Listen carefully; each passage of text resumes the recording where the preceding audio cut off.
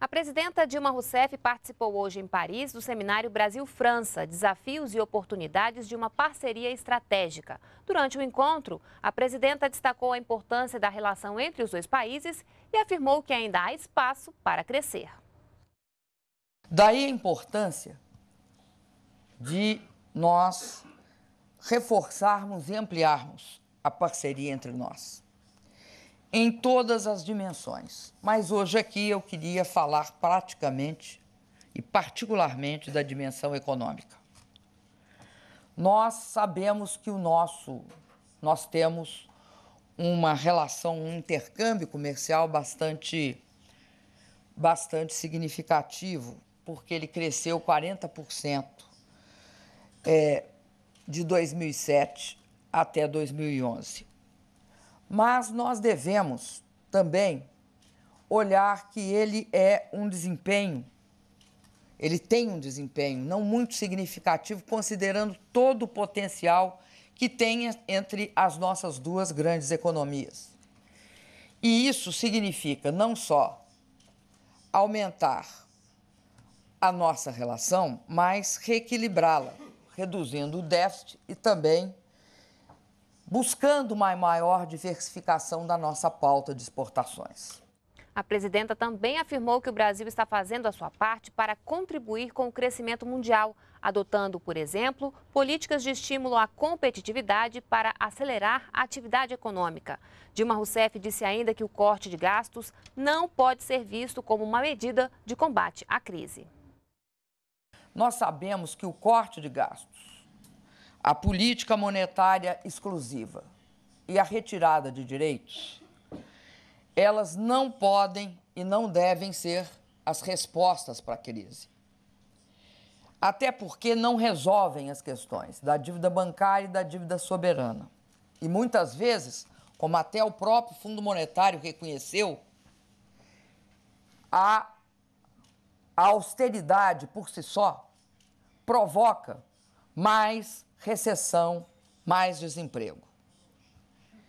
E esse é um reconhecimento importante, porque nas duas décadas que nós tivemos um ajuste fiscal fortíssimo, ninguém reconhecia que nós não estávamos indo para lugar nenhum quando aumentava a desigualdade, o desemprego e a falta de esperança nos países da América Latina, em especial no Brasil. A presidenta destacou o modelo de desenvolvimento brasileiro, que, segundo ela, é baseado na retomada do crescimento a partir da distribuição de renda. Dilma Rousseff disse que o Brasil se tornou um mercado atrativo para os investidores estrangeiros.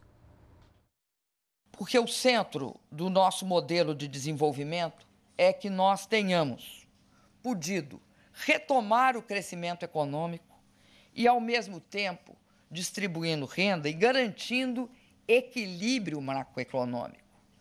A nossa inflação está sob controle. A nossa dívida pública é 35, a nossa dívida pública é 35% do PIB. E as nossas reservas cambiais são de 378 bilhões de dólares. Essa redução da vulnerabilidade externa e o crescimento do mercado interno e ajudam a explicar a atração exercida que o Brasil exerce sobre o investimento estrangeiro. O investimento direto externo no Brasil atingiu, em 2011, 66,7 bilhões de dólares. E até setembro deste ano, nós estamos com 63,8 bilhões de dólares.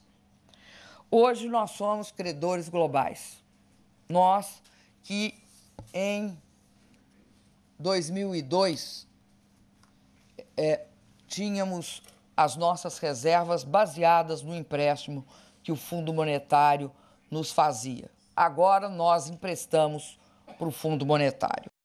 E a presidenta disse também que uma das metas do governo brasileiro é atrair investimentos privados, principalmente para o setor de transportes. Queremos construir um ambiente extremamente seguro e amigável para o investimento privado.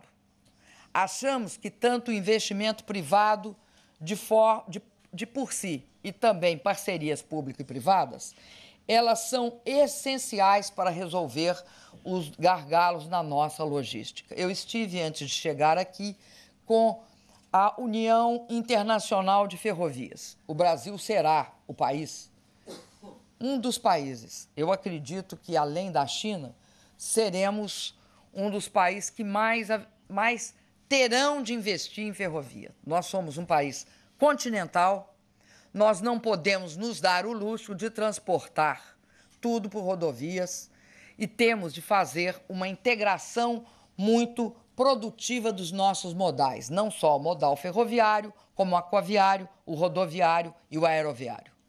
E, sobretudo, temos de ter um, um imenso, um, uma imensa atenção, uma imensa dedicação com os nossos portos.